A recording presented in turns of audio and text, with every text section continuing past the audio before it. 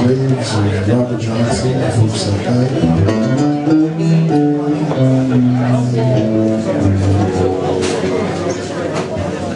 Real good experience.